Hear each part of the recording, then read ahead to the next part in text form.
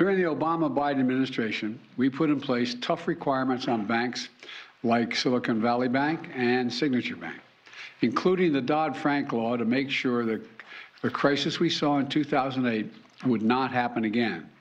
Unfortunately, the last administration rolled back some of these requirements. Unfortunately, uh, Biden wouldn't answer any questions about the second biggest bank failure in American history. He just had somewhere else to be.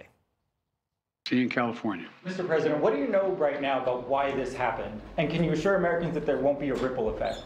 Do you expect other banks to fail, Mr. President? Should all depositors be protected at all banks? So is this the only bank that Biden's going to bail out? Or is this just one of many? Well, don't worry. The Treasury Secretary, who's covering up Hunter Biden's sketchy bank wires, says everything's fine. What I do want to do yeah. is emphasize that the American banking system is really um, safe and well capitalized. It's resilient. Just like inflation's under control, lady, I don't trust her. It's the same people every time. The bankers, the green donors, the Barney Franks, the Joe Bidens. They get rich, they get bonuses, they dump the stocks, everybody gets bailed out. No one goes to prison. They tell us everything's fine. They redefine the word bailout and then tell you it's the greatest economy in American history. Just ignore the bank failures and the record inflation. I don't know about you. I'm not feeling too comfortable right now. Are you? Let's bring in Kentucky Congressman Thomas Massie. All right, Congressman, what's really going on here?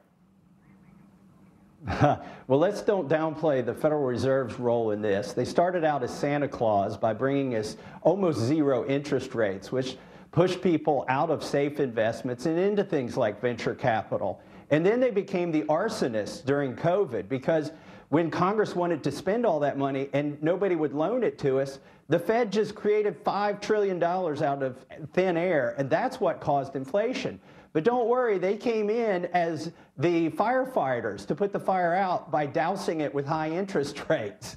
And now they're like the triage doctor trying to uh, stabilize the patients, which are the banks. You know, by, and and the, you know, to your point in your monologue about Biden saying, "Oh, well, this won't cost the taxpayers anything," I'll rate that as mostly not true if things get worse, because what they're doing is they insured everybody under $250,000, all the depositors, and and premiums were paid into that account. But what Biden is going to do right now at the FDIC, they're going to take all of that money they've saved up to protect the $250,000 depositors and spend it on the $10 million depositors. They're basically going all in on the first two or three banks. And they're saying, trust us, this is better than just making the small guys whole. So, Congressman, uh, are people's deposits safe in the United States of America? Is there going to be a bank run? Should we be nervous? I'm not taking my money out of the bank, and I don't think other people should either. What will happen is there's a Fed backstop to all of this. Again, like, you know, the Fed's played all of these roles. The, the, um, the other program that they've announced is that the Fed will loan money to banks who are in trouble. The banks who bought treasury notes that, and bonds that have gone to 80% of their value, the Fed says, we'll give you a credit for the 20% that's worthless we'll, get, we'll credit that for a loan. So you can use the worthless part of the bond as collateral for a loan from the Fed. There will be plenty of money. The problem is, I think yeah. they're going to print. I don't even eventually. understand the words you just said, but I do hear something that was said on a call with you today. Someone said you're not even allowed to talk about bank runs. Is that true?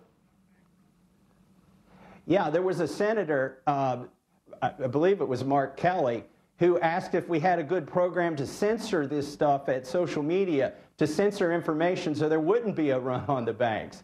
The problem is, he didn't say he wanted to censor false information or foreign information. He kind of left it open ended. And um, I mean, that's chilling to me. That's their go to now for the Democrats. Let's censor our way to a solution. Yeah, censor and print. That's basically the deal. Congressman Massie, thanks so much for joining us. Thanks for having me on, Jesse.